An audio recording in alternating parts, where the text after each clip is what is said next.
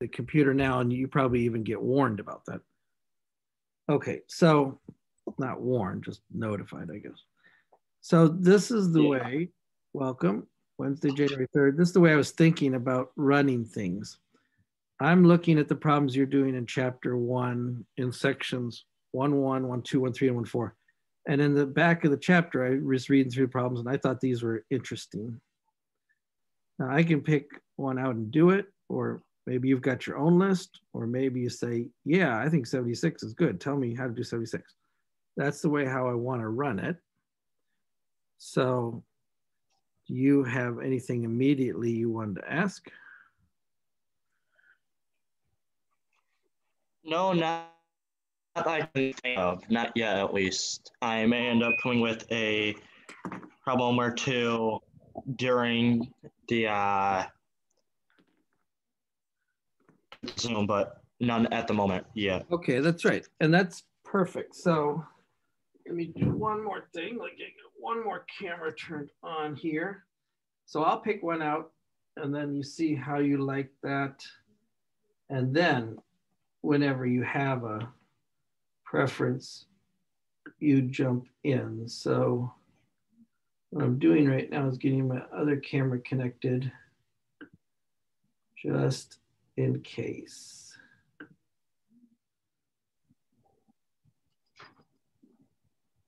Got it.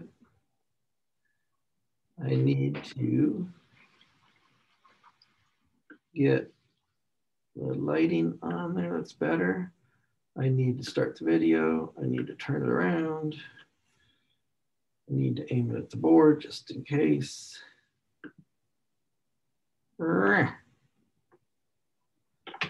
Got it.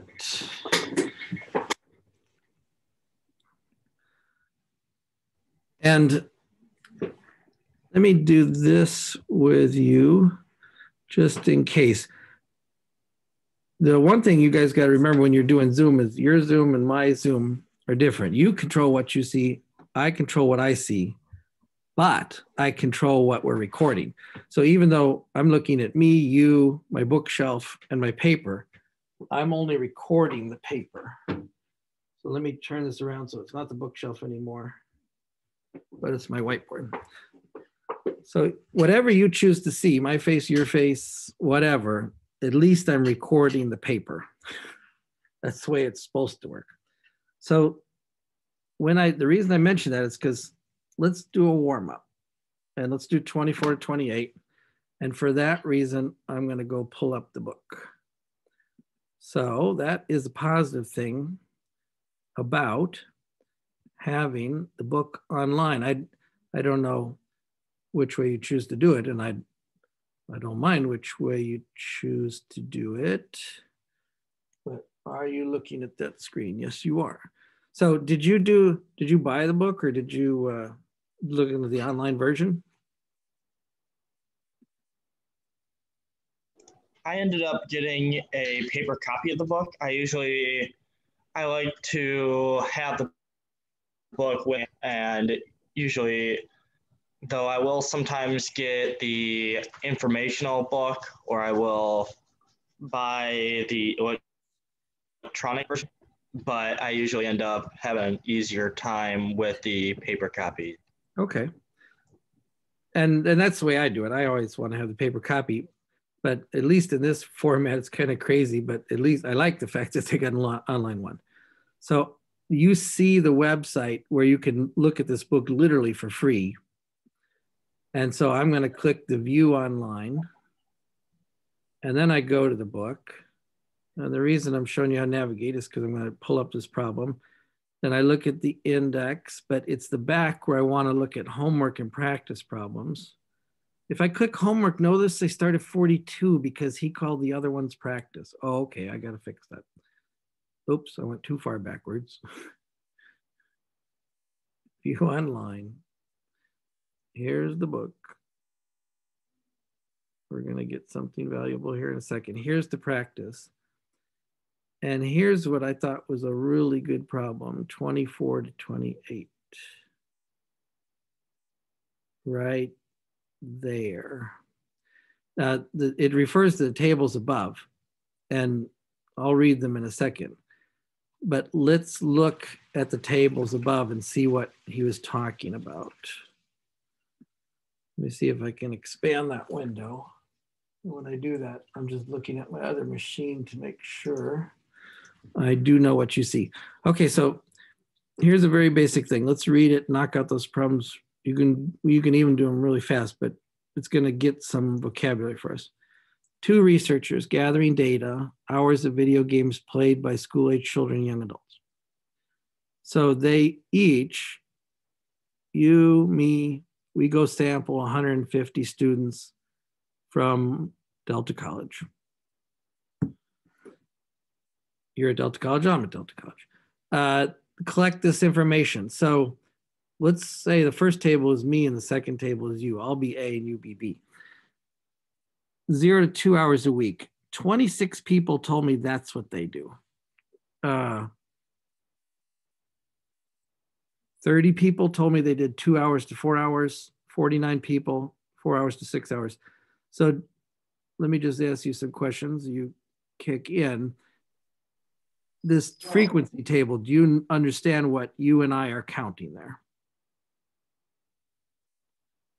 How many so times?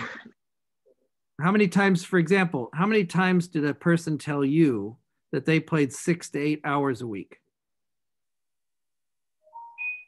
So it looks like 25 people have admitted or at least believe that they play about six to eight hours of video games a so, week. That's right, and yeah. and that's the that's if if I'm A and you're B, that's what they told me. Uh, you came back to me and said, no, no, no. Only 12 people told me they played six to eight hours. And that absolutely doesn't mean either one of us is wrong. It's just that's what we got. Okay, so you understand the frequency column is just me and you counting what people said to us. Yes. Do you understand the relative? Individuals. What does the relative frequency column mean in your own words? I believe that it represents the overall percentage or how much of the total 150 of the votes were 8 to 10 10 to 12 6 to 8 for each of the sections. Good. So if 30 people told me they played between two and four hours, and I interviewed 150 people, I got this 20%, and it's very good. You, it is completely legitimate to call that a percent. 20% of them, 30 divided by 150, said to me, I play two to four hours a week. What percent told you they play two to four hours a week?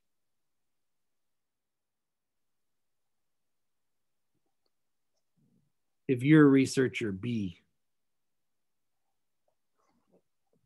Researcher B? Yeah. 51. Or there were 51 people. Right. Who what percent? said two to four at about a 34 of Good. the total. Good. So I say 20% of them play that two to four hours a week. You say 34%. And there's absolutely, it's not either one of us is wrong. That's important. It's just you interview different people. Okay, now tell me what the cumulative relative frequency means. So, for example, this 70% right here, let me clear that. That's 70% I'm going to draw that a different way. What does that 70% mean to you in English? So it means to me that I think out of a, I think it relates to the group. Um, though I would admit, a little hard in terms of of putting together the cumulative relevancy or relative. Um, So I'm guessing it may have something to do with uh, if you compare results. Okay, that's part of it. But I could also be very direct with the word cumulative here. So, what it really means, uh, the most direct way I could say it, is that 33% of the people told me they played between four and six hours. But Okay. the other people did play not more than six hours. So the cumulative means how many people told me they played four to six hours or less. So the cumulative is literally that number plus that number plus that number. Okay. And if you add the 0.17, 0.20, and 0.33, it adds up to 0.7. So I could say legitimately 70% of the students I interviewed play video games six hours or less. That's what that 70% means. How many of the people that you interviewed play eight hours or less? Eight hours or less And you're a researcher B. ended up a cumulative relative frequency of 90%. Yeah. So as you added them all up, added all these four up, less than eight hours was 32%, 34%, 16%, 8%. In other words, 90% of the people you interviewed did less than eight hours. For me, it was 87. okay, so this is the first step. And, and you have your book, and I have my book. And so now I just want to make sure we're on the same page what this table means. Now let's answer the questions. Okay, step number one. And there's no right or wrong answer necessarily. Give me a reason why our tables are different. Why did the data differ? So the most obvious reason is that we gave or that we sampled most likely different people of a population or different groups of a population. Some people, there may be a reason people play more. Maybe there is, maybe there's some sort of group that maybe are into games. Some of us, one of the two researchers may have found one of those groups, or there may be a people who there may be a part of the population at Delta College who believe video games are, for example, obsolete. So Yeah. then, Yeah. most likely, Yeah. The, the, the simplest way we could say it in English is we, we just talk to different people. And all they want you to do is learn to speak statistics. So in statistics language, one reason is these were different samples.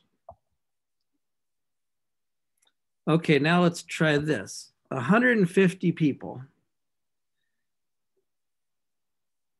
Both you and I now believe we could say something about students at Delta College.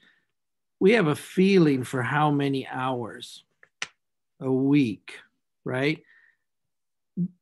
Do you think, this is totally a judgment call in 25, do you think 150 people is enough for you to make a good guess about what's really going on for all the students at Delta College? it gives you some sort of credibility towards making a good guess. For That's a good example, you see most of the groups in both researcher A and B. For example, groups, there are large amounts of people for both. They both hold towards 70, 80% in the uh, so about 70% in the two to six hour range for this. Now, again, there are groups we may have missed. So, most likely, you may be able to get a decent guess, but I'm not sure you would have a. You may not have had enough people to correctly or to Good. guess enough to the overall population. Now here, here I'll tell you an interesting thing. Now, uh, 150 people. Delta College. Let's just talk about students. Probably has about, and let's let's not say full time part time. Let's just say any student. Maybe 7,000 students at Delta College right now. The funny magical part is, if we were just talking about Delta College, and 150 students out of 7,000, that is actually quite legitimate. And statistics is going to show us that. Now, you did mention a key point. It would not be legitimate if I went to the LOL game group downstairs and asked them, because they are not a broad, typical representative sample of Delta colleges, right? But if I was honest, trying to survey a broad number of people in some way that they described in the book, 150 people is actually quite a lot. And that's why I'm going to switch to my paper and do this. Uh, okay. I apologize if I missed someone. Let's go in here. I got, oh, Tabitha was just hanging out here. Hi, Tabitha, how you doing?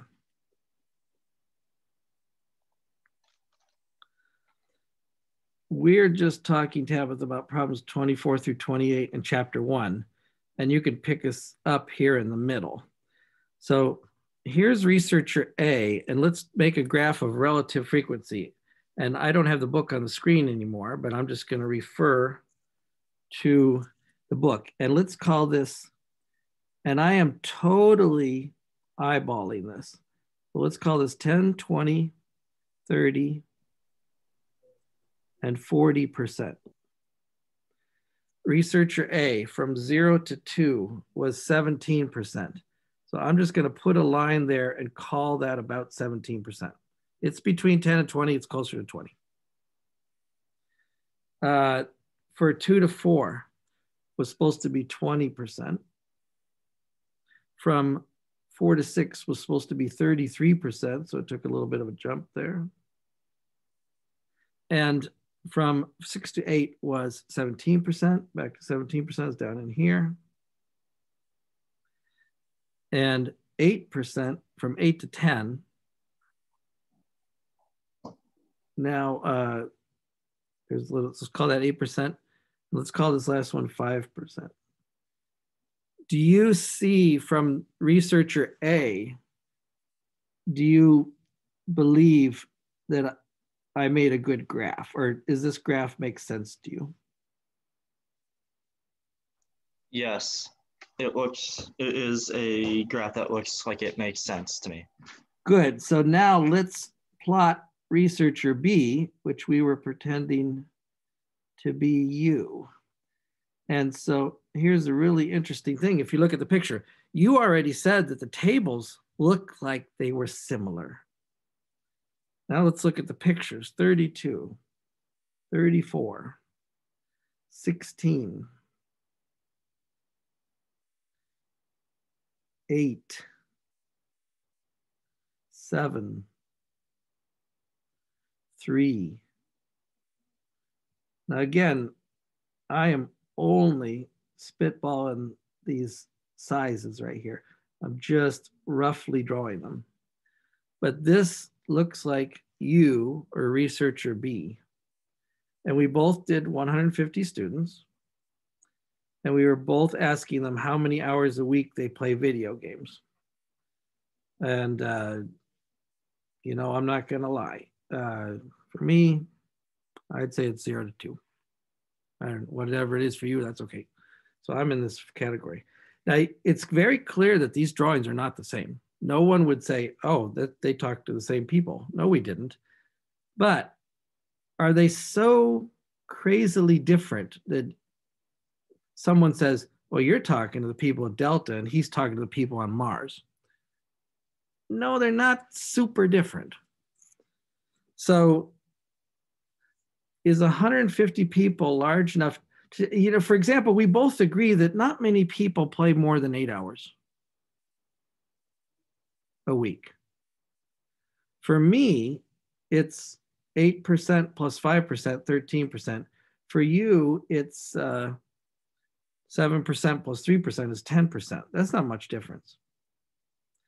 I think you and me differ a little bit at the beginning. Like you interviewed a lot of people that play less than four hours a week, 66%. I interviewed, and the ones who play less than four hours a week is only 37%. And I see that from the cumulative relative frequency table. So let me go back to the book and let's see if we can answer the rest of these questions. Would the sample size be large enough?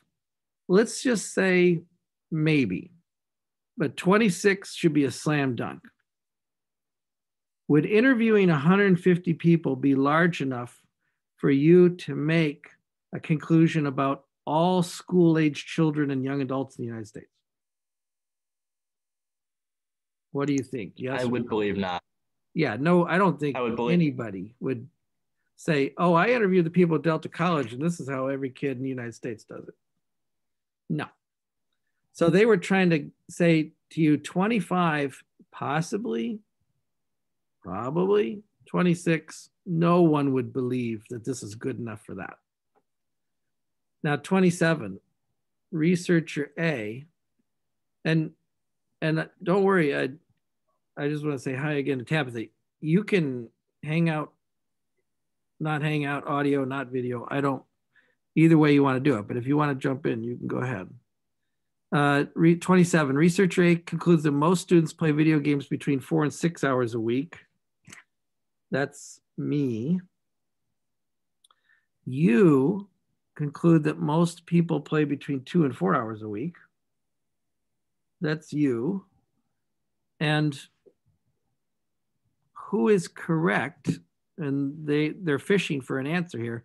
What they're fishing for you to say is, we don't really know, but uh, at least you and I don't radically disagree. So is it possible we're both right? Well, that I would believe be, from a no. We can't both be right. But are we probably both close to the true number? We're probably both close to the true number, whatever that is. What if the true number was 4.5? Then I wouldn't like give myself a medal and say, oh, I got it, you didn't. No, I would just say, yeah, 4.5 sounds good to me. And you would look at your thing and say, okay, 4.5 could be the case. Maybe I just interviewed some different people. Now let's reward. Now, now here's another slam dunk on 28. Because I wanted people to answer my survey, let's say I gave them a gift card to uh, Apple Arcade. I don't know what your platform is. If you do you play?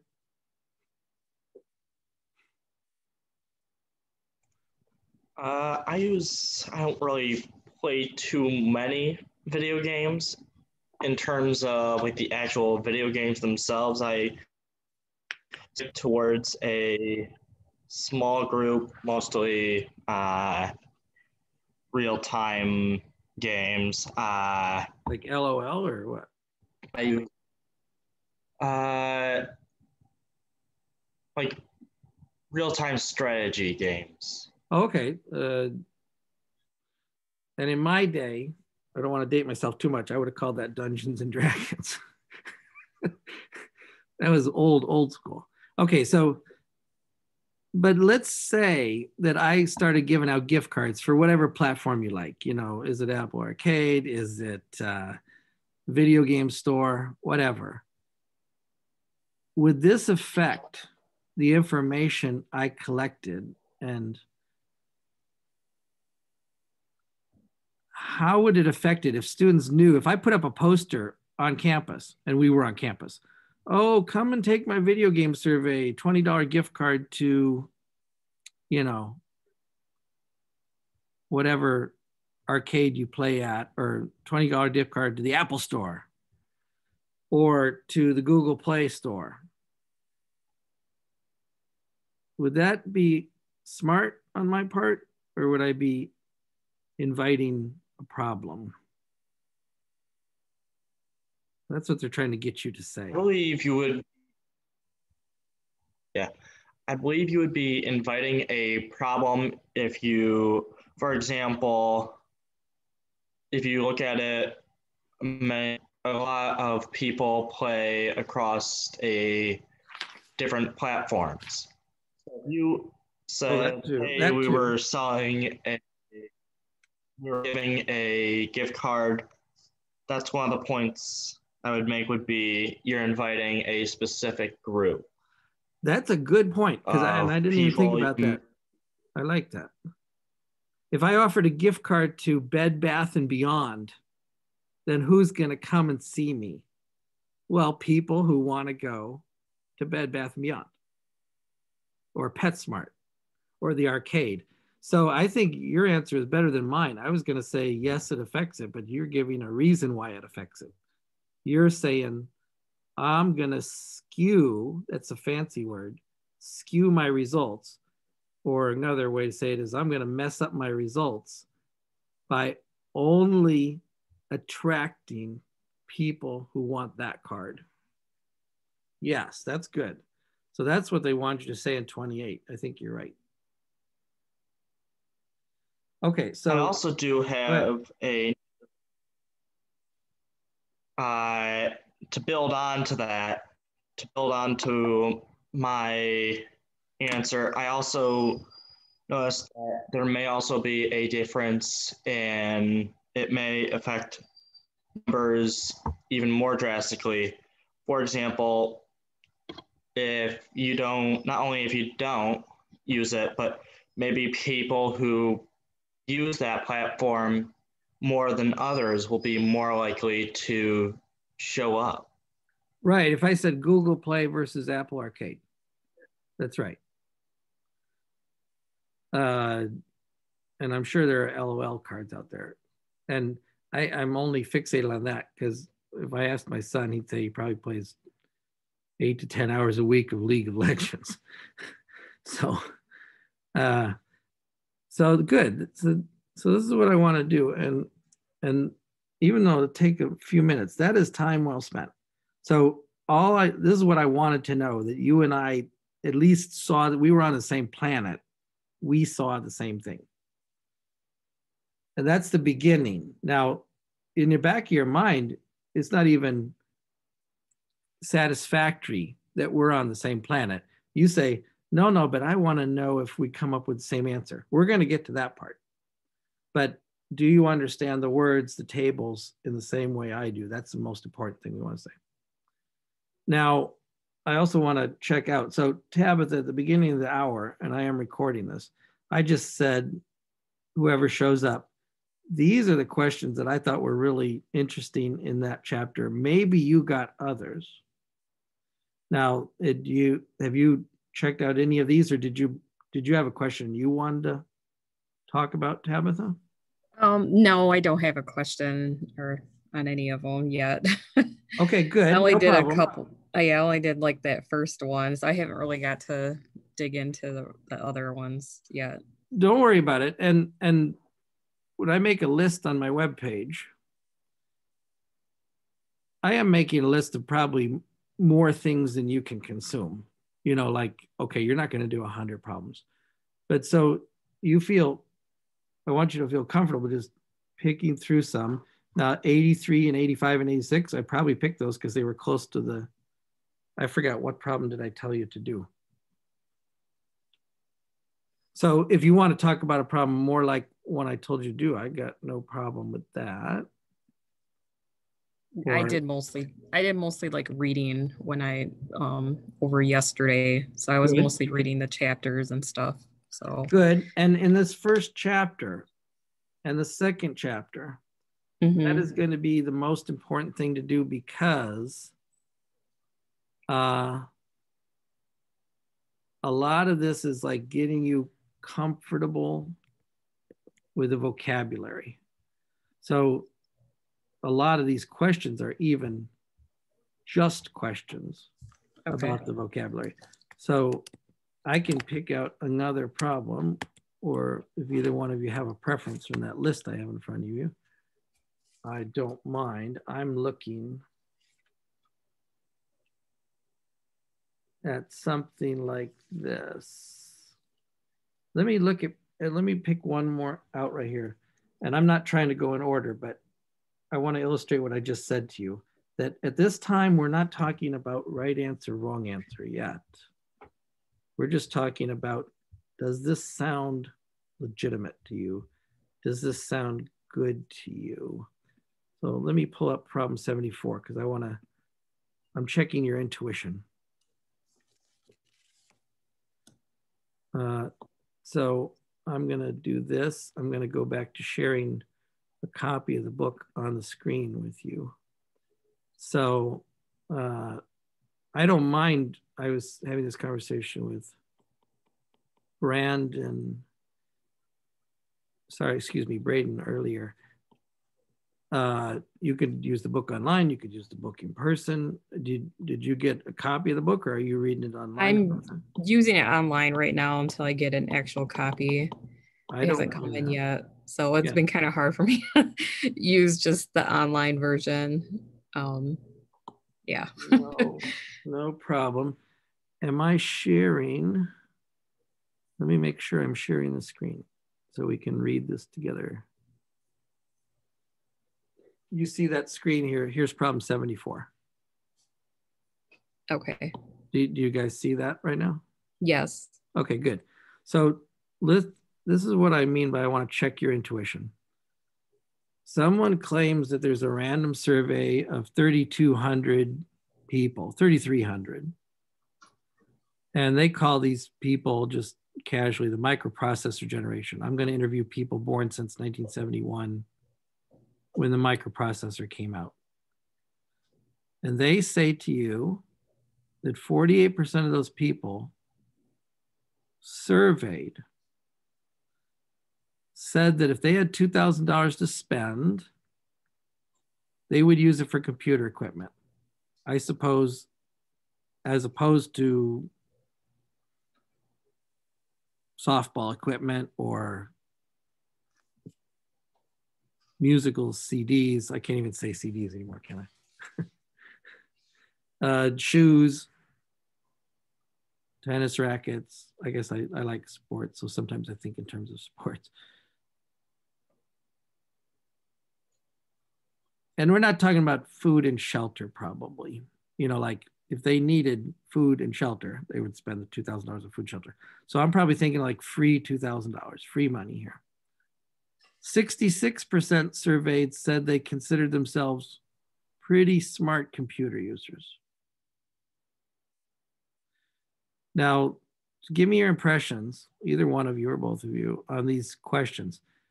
Do you think that this sample size was large enough to make good conclusions about these people born since 1971? It's got a chance, no chance, very good chance. Do you think this is enough people?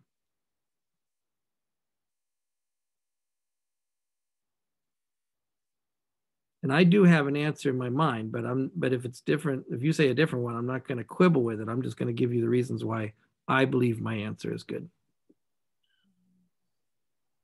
What do you think about part A?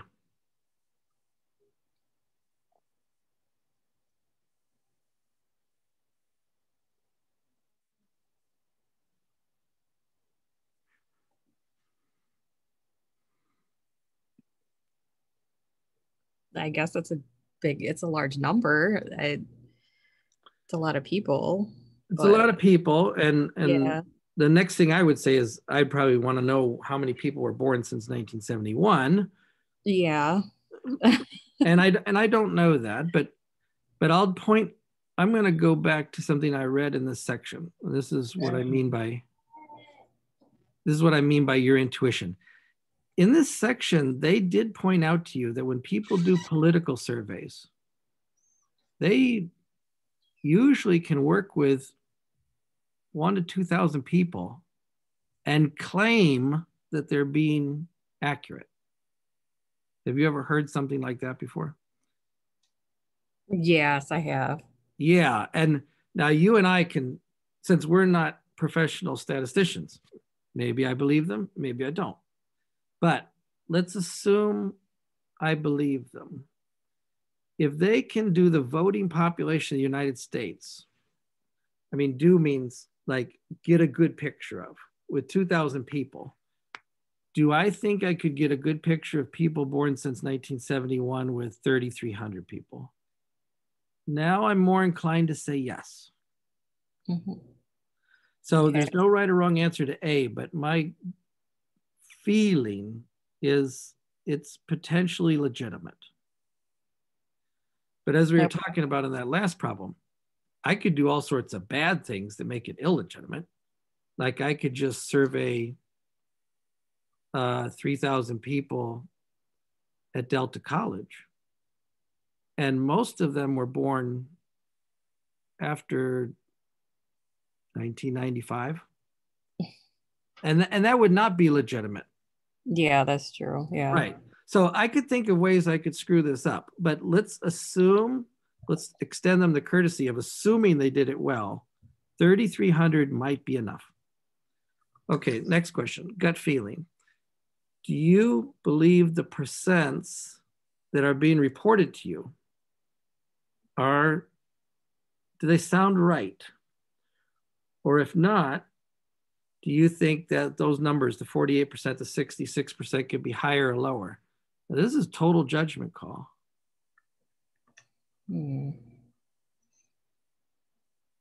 But they give you this additional information. The survey that we're talking about was reported by the Intel Corporation, and it was filled out by individuals who visited the Los Angeles Convention Center to see an exhibit called America's Smithsonian. So, first of all, 48% said if they had two grand, they'd go out and buy computer equipment. Do you think that's high or low?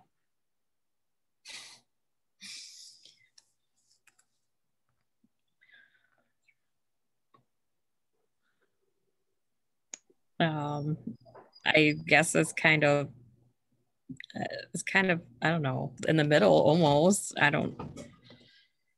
Well, okay, now let's think about some of your friends or neighbors. And and I could tell you what I would do. I if I had two grand, I don't think I would buy computer equipment. I think I could have fun doing other things too. Uh, right. 48% is like saying one out of every two people. Every other person you ask, oh yeah, I'm gonna go buy a computer. Oh yeah, I'm gonna go buy an iPad. Oh, It's yeah, like I'm gonna go bu- It's like saying half of uh, like everybody would go buy a computer. That's I don't. I'm just thinking of my own friends Yeah. and neighbors. Maybe it's higher, Yeah. but maybe it's not. Yeah. Okay, how about this 66%? Braden, do you believe that if we went out there and surveyed people, two out of three would say, Yeah, I'm cool with computers? I, I, know would say so first of all it depends on which population um, i think that would cause a bit of variation though i do not believe that many people would say that they do or they may um, some may consider it depends is there isn't i don't believe a standard for how much you know about the computer to say, hey, I'm relatively savvy with the computer. Yeah, I don't think a lot of people would say that they're So savvy. very bad. yeah most and most people even if they're sometimes there's a natural tendency to be self-deprecating say yeah okay i'm i'm okay with computers. And they Yeah. might be pretty good. I'll tell you what my 16 year old daughter would say. I know more than you did and that's a problem right? But then, so my 16 year old daughter might way way way overestimate.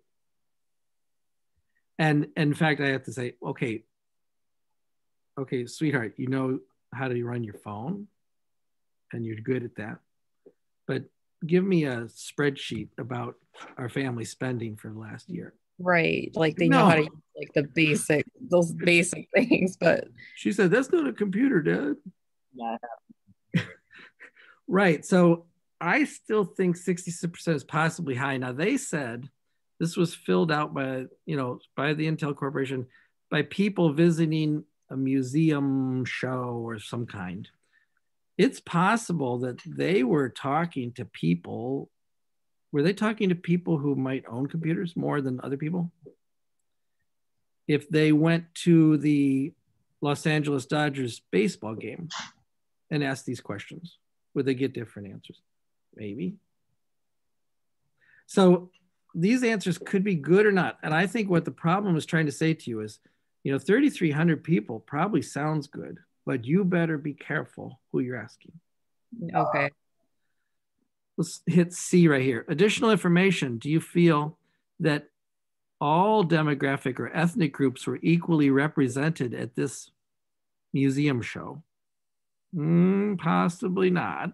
Maybe yeah. not. And with this additional information, now, have you reevaluated what you think about that 48% and 66%? If people just throw those numbers at you, you're, you're very likely to say, okay, okay. But then you think about it, you think about who they talk to, then you say, hmm, okay, maybe. Or oh, maybe not. So part of this whole chapter one is getting you to get a good intuition about what's appropriate, what's not appropriate, what's good enough, what's not good enough, and how careful you really have to be when you either do a survey or more important to you and me, maybe, when we read one.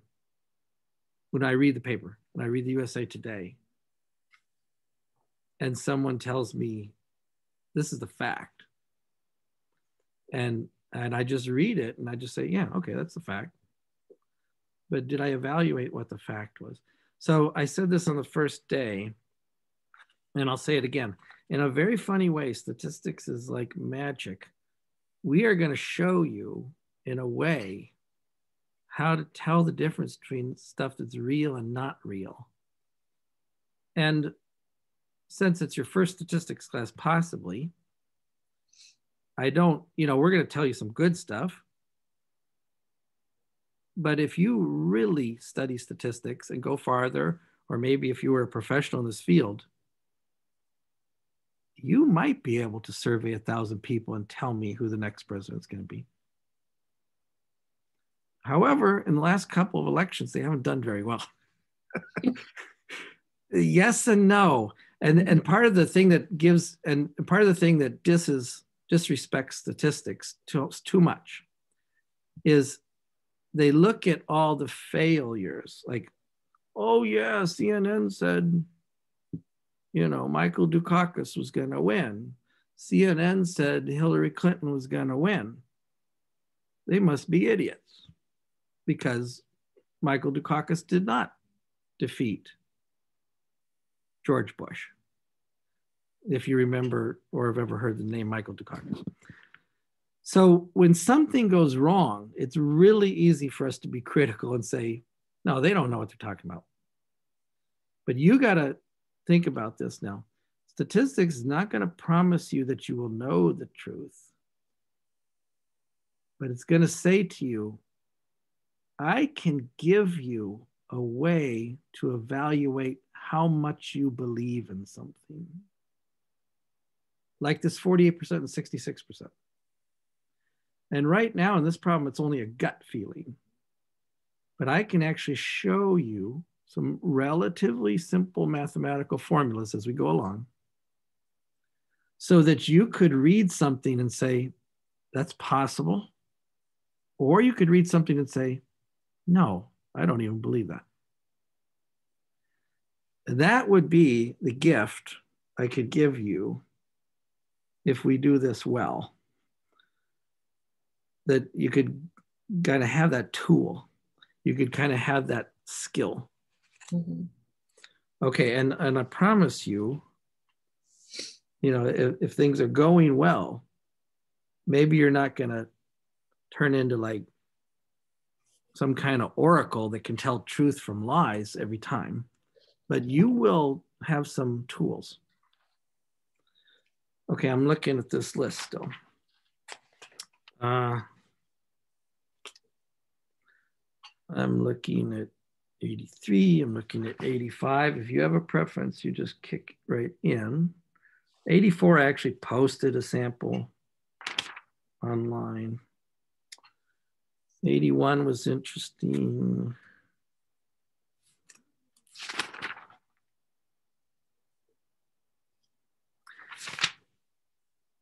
Eighty-five, eighty-six.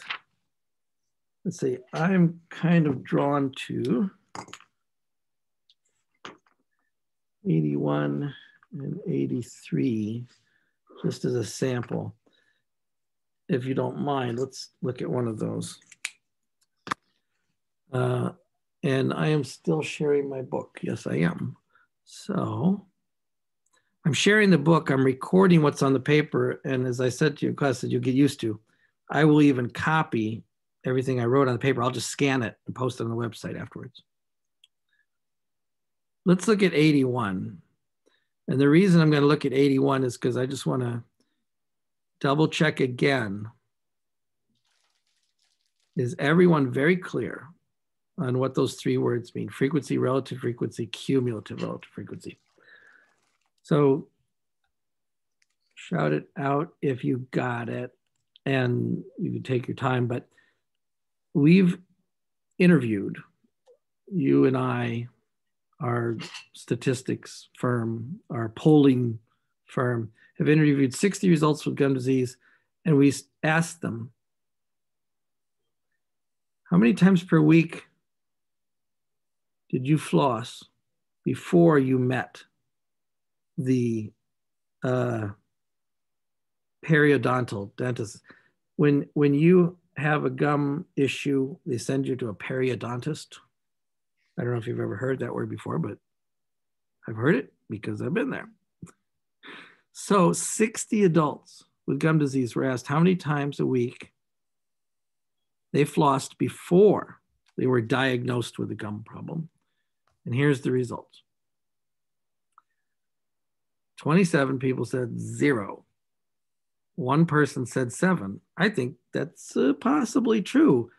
If you were flossing seven times a week, I don't think you're going to visit the periodontist yet. Okay, so this makes sense, but there's clearly missing information. So start to fill in the missing information. What number goes right there? Hmm, you think I'm acting that, asking that out of left field, but I'm not. You can actually know the number there.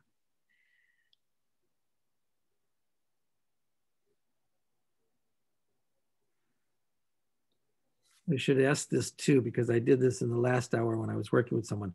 Do you see the red triangle I drew on the screen? Yes. Okay, good, good.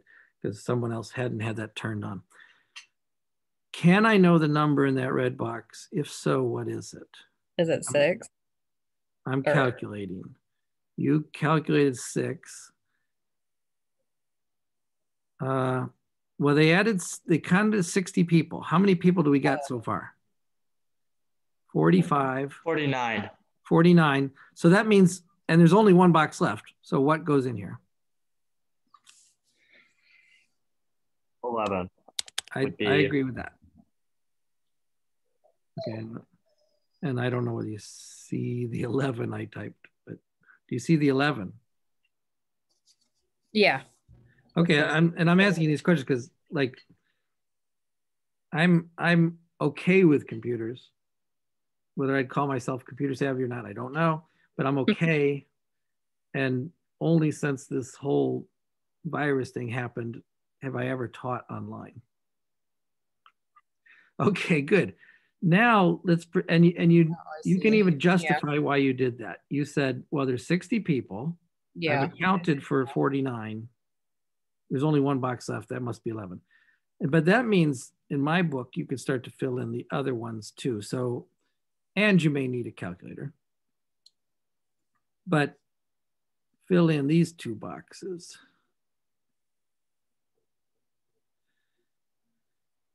How did someone say 45% there?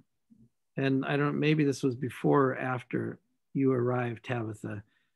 Uh, Braden read this 0.4500 as 45%. And you that is legitimate. That is 45% or 0.45. You got that from taking 27 divided by 60. On your calculator, that would be 0.45. I'm just pulling up my calculator to find out what 18 divided by 60 is. I get 0.3 or 0.3. I do get 0.3 and I only have to do this because I don't even, yeah, okay, so I'm, I'm drawing with lines and I shouldn't be drawing with lines. Okay. Whether I can type it in here or not, it's 0.3.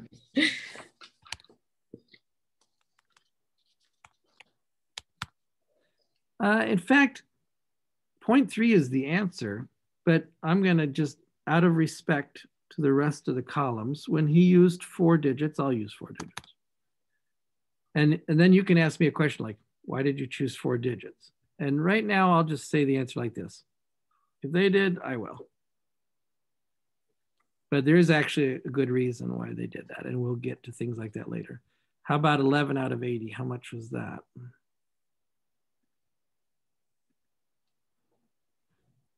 My calculator says 11 out of 60, excuse me.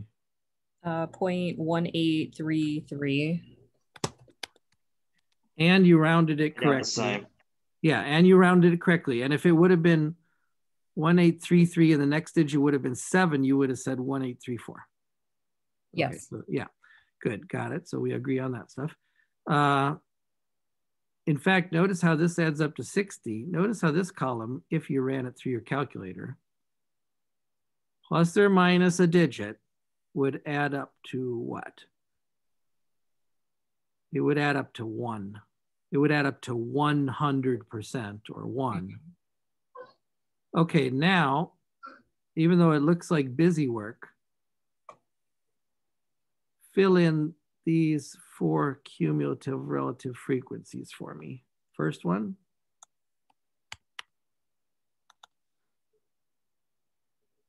Okay, no points for that, but what about the second one?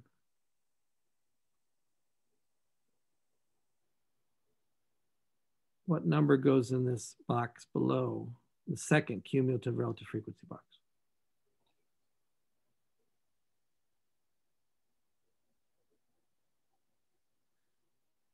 Think about cumulative relative frequency box in the way in, in plain English, think about like this. All the people up to there. In other words, 45 people flossed once or less. Add the 11. 56 of the 60 flossed three times or less. Okay, now I'm getting personally nervous. Maybe that's why I went to see a periodontist. But that's just numbers. So cumulative relative frequency means add up the percents. So how many people floss zero times a week? 45%. How many people flossed once or below times a week? Then you say, 75. right. And then where did they get that 93 1833 from? They must have added 75 and 1833, which we could check is 9333. How many people? Let's do this one. Were six times or less. 93. Yeah, in fact, pretty much all of them. Hmm. How many people were seven times or less? And and this shouldn't surprise me. This is what I expect Yeah. because those were the only answers I got. So when I'm done, it better add up to 100%. Yeah. Now, first you say this last column is busy work. But look how slick it makes the answer to C. What percent flossed at most three times a week?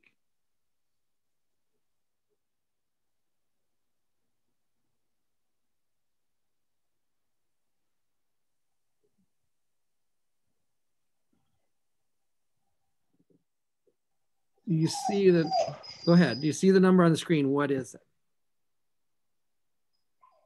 93.33% of 60 adults flossed Yeah. six or not six, three times per week, Right. making it so the answer is It's right one's on the board there. right off the bat. It's, yeah, the cumulative relative frequency kind of gives you what you call in English a running total. Mm-hmm. Or what if I had said the question like this? Uh, you interviewed 60 people. How many of them flossed more than five times a week? And more than five times a week would be the six or seven. It would be what compared to this 9833? It would be six or seven. What compared to the 9333? See, if I say more than five times a week, it's going to be the, this is a funny word, but opposite of 0.9333. I don't mean opposite. What I mean is one minus 0.933.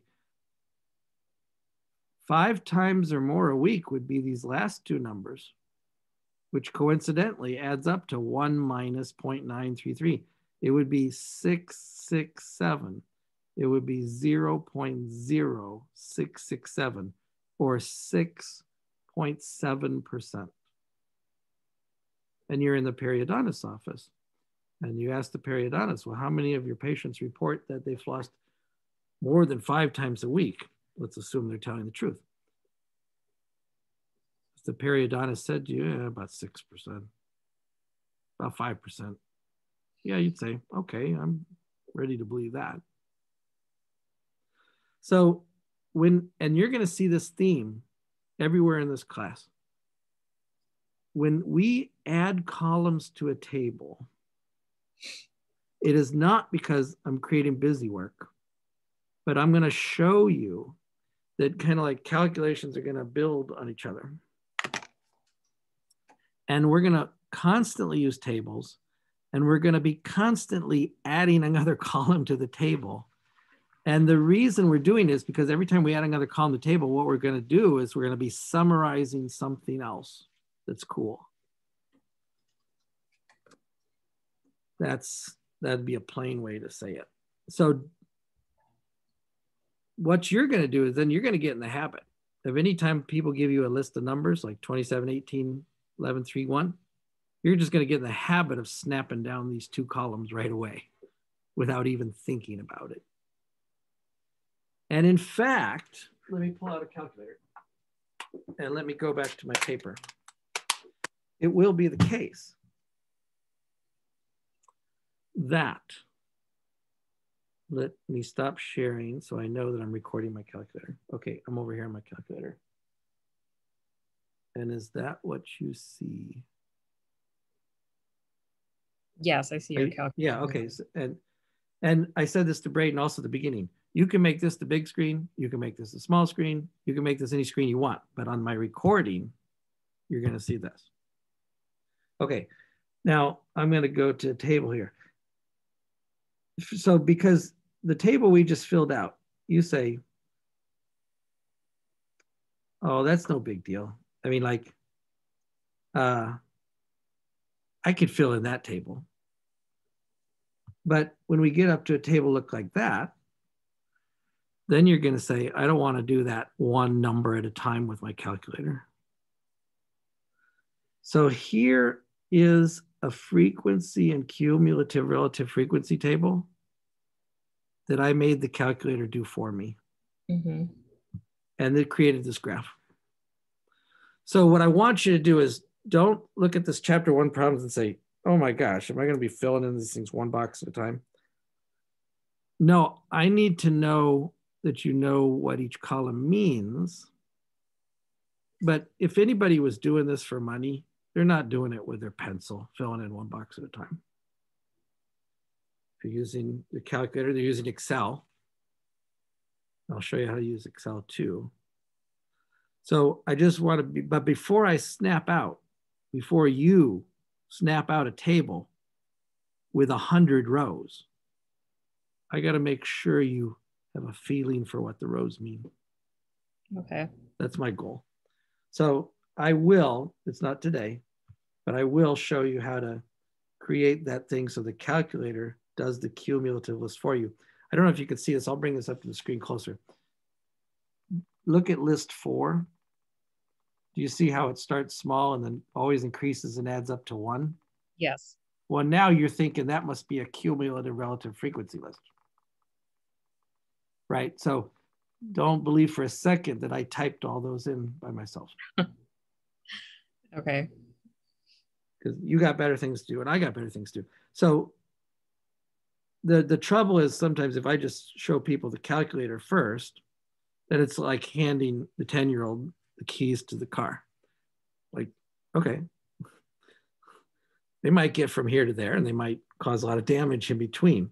So uh, we'll show you how to do this and automate it so you get faster and faster. Okay, what planet am I on right now?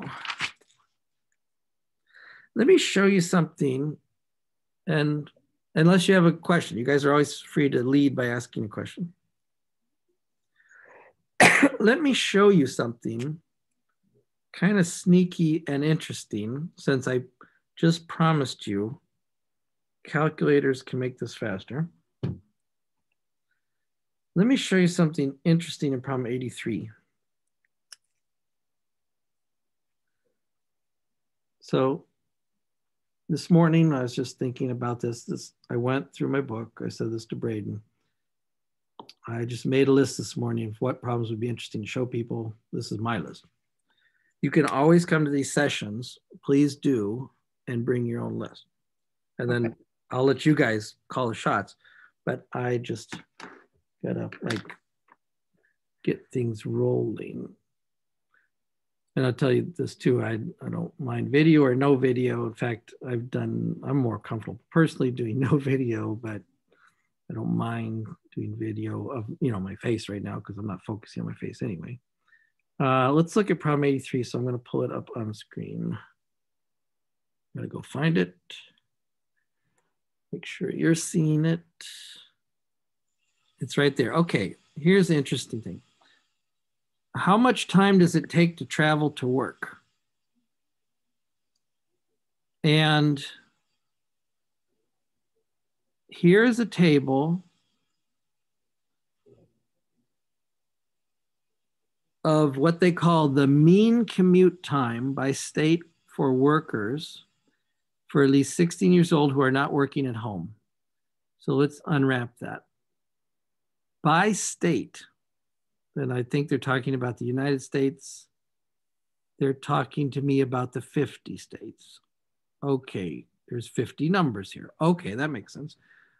Uh, commute time, driving to and from work. Okay, we used to do that. we still do in some cases. Mean commute time. Uh, mean is a fancy word for average. Uh, and and we're going to interview people who are 16 years old not working home that means you know people who are like legally working not the uh, young person doing ice cream while they're in high school or something so uh, let's see, what did I use to drive to work every day while we were working in person at Delta College? It was, it was about 20 minutes. And I scan this table and I see a lot of 20s.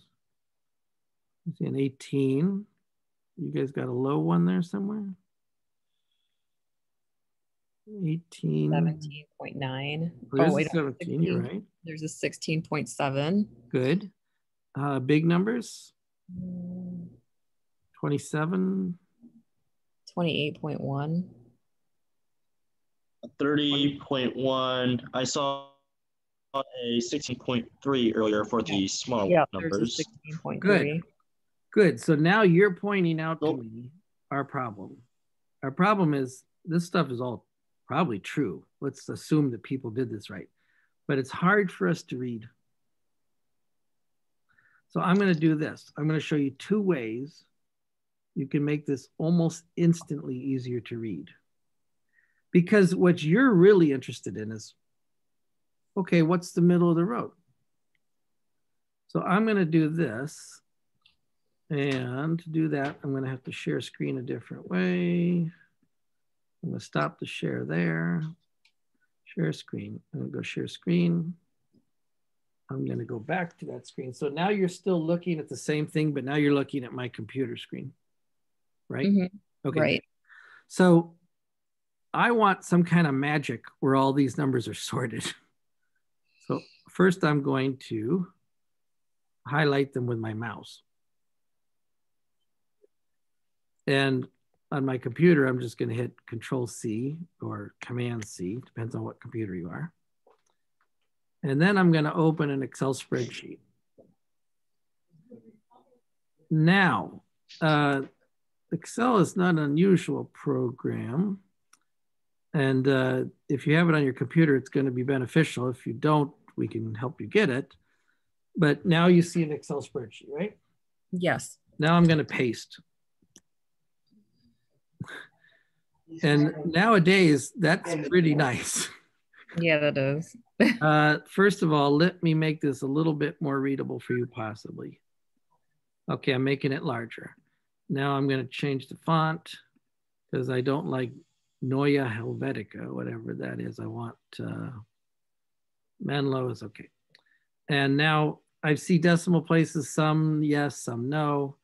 Let's make sure we're all using the same number of decimal places. That's not important, but it makes it easier on the eyes. Mhm. Okay, now next step. I am going to, and we already agreed that there are 50 numbers here. I'm going to, Yep.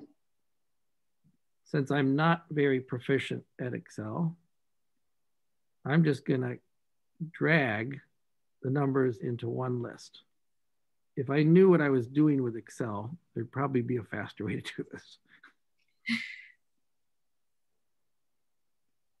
But the message I'm trying to give you here is, uh, if I was rearranging these on paper with my hands, it would take me 10 minutes. So don't be afraid to experiment with something else.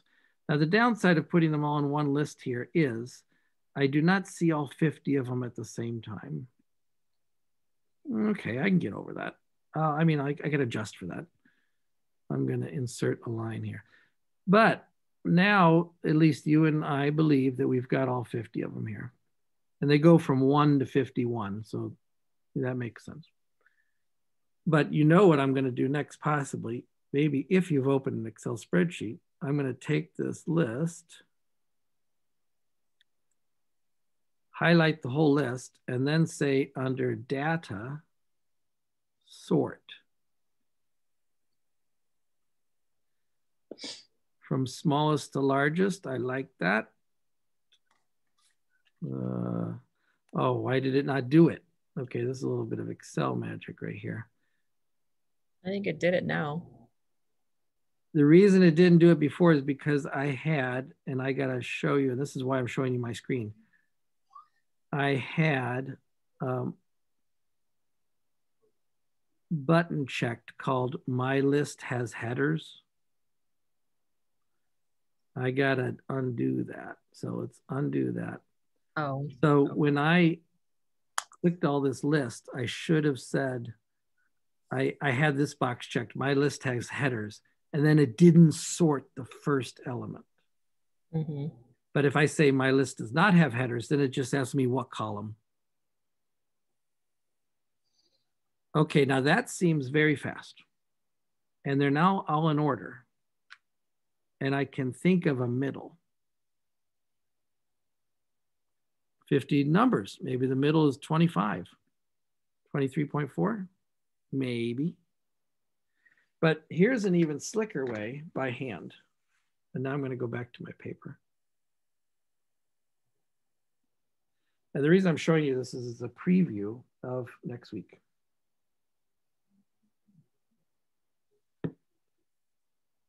In this little table here, what did I do? Can you see what I did? Can you make that a little bigger or like Uh, go ahead. Uh,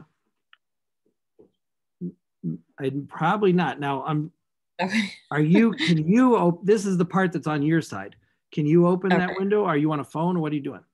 I'm on my laptop, but Okay. I don't Can know you? how to Can you it. make that like window larger? Or do you do you see these digits, or is it way too small? oh there it is. Okay, now I see it. All right. And and you could do that by checking which window you were looking at. yeah. That's good. Okay, that's now good. I see it. that's a Zoom lesson. Like on your side, you control which window you're looking at. Okay. Good. Yep, I see it. So this this table that I made here, can you see what I did?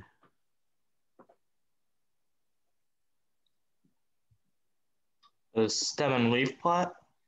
The fancy word is a stem and leaf plot. I took the numbers like 16.3, 16.7, hmm 31, and I wrote them by concentrating on the last digit. On this side, I have what's called the leaves. These are the last digits. And on the left side, I have the stems, everything but the last digit.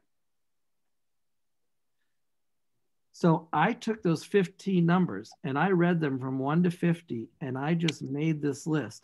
And I said, to tell you the truth, I started at 18.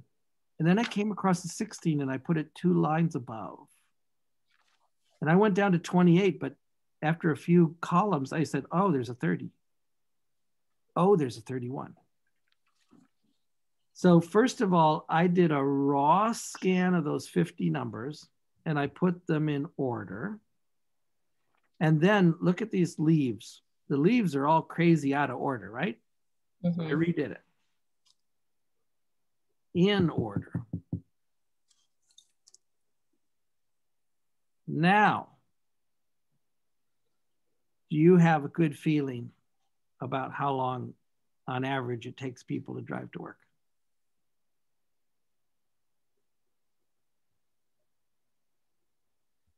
I would I say yeah, or Yeah, at give least me a- Give me a Fair idea. ballpark.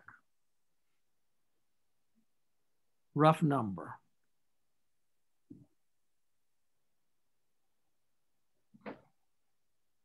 If you had to bet money, you'd probably bet 23 or 24. Yeah. No one would bet 28. yeah. Now, I might ask you to do better, like give me 23.5, 23.6, 24.2. Well, then you could use a calculator.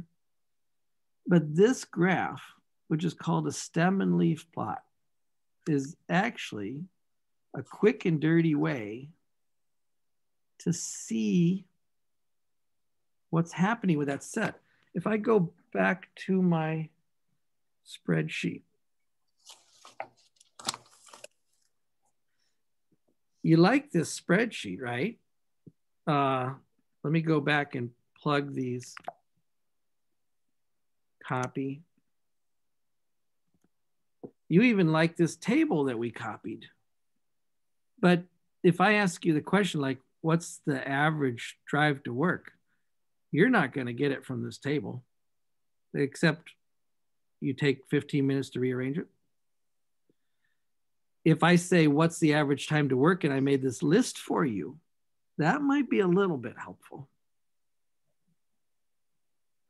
And I guessed, oh, let's go for the middle one, 23.4. Actually, that sounds pretty good compared to my other graph now. If I wanted to really know, I would take the mean by adding all these numbers and then dividing by 50. Let me do that on the spreadsheet. I will sum. Don't worry if you don't know any spreadsheet commands right now. I'll show you some as we go along. I will sum those numbers. No, I don't want that number. Why did I jump to the other screen? Because I touched the mouse pad. Will sum those numbers, which is 1173, and I will divide by 50. Okay, Excel says the average is 23.5. Uh, more digits, 2346, 23462. Okay, now I, I'm gonna wrap this up now. But what if I said to you, the average is 23.462 minutes for your drive to work? Well, mathematically, you'd be impressed. But no one measures their drive to work to the nearest thousandth of a minute. So probably you'd say to me, you're overdoing it, Dave. Just how about 23.5? Now, I'll tell you why I don't like 23.5. Here's a rule of thumb in statistics. It's very cool, and you got to remember it. Do you see all your data is to the nearest tenth of a minute? So the rule of thumb says if your data is to the nearest tenth of a minute, consider reporting the average one more decimal place. I don't think 46 one hundredths of a minute really means anything. But as far as reporting this data to you, I would probably say if you asked me what the average was, I would say about 23.46. And what else did I want to say about that? But uh, let me go back to my paper. But I want you to say, how about this? This graph took me just five minutes to scribble together. And it gave me a really quick answer. And by the way, I forgot to bring my calculator today. No, I mean, you, you better have your calculator with you. But uh, this is a preview of chapter two. So what's chapter two about? Chapter one was about how willing are you to believe people? You got to learn all these words. Let's be critical. Chapter two is now going to be about okay, I'm going to give you piles of numbers and I'm going to ask you questions about them like what's the average? Where do they go from here to there? Which one happens most often? In other words, once someone gives me a pile of numbers, I'm going to start to ask questions like that, like what's the average? How far do most people separate from the average? That's starting to do the math work of statistics and this would be you could consider this, this is called a stem and leaf plot this would be like your first example of organizing data. Now i'm not doing problem 83 because problem 83 just asked you to find the average. But what i was doing was saying oh is there some kind of fun way i could show you that you don't have to work too much harder to get a lot more information? I almost calculated the average right here. If I would have told you the average was 23.5 after looking at this table, you would have said, I can't say you're wrong. You wouldn't have been able to know whether I was right or not. But you can't, you say, I can't say you're wrong. However, if I said the average was 25.5, you would have looked at this table and said, uh, no, I, I don't believe you. Uh, I'm not, did you check that?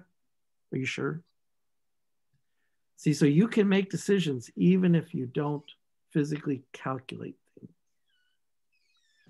If you organize things, it's all about organization. That's what it's going to be for us in the semester. It's all about organization. Okay, so thank you for coming. And I'm going to, I did record this. I will post it because some people are not available at this time and they consume it on their own time. But, and you can tell me whether you want, this is the way you want to run it or not want to run it. But when you bring your own questions to this too, then this will also be productive as you get going. Uh, but this is how I wanted to try to start things. Okay. Okay.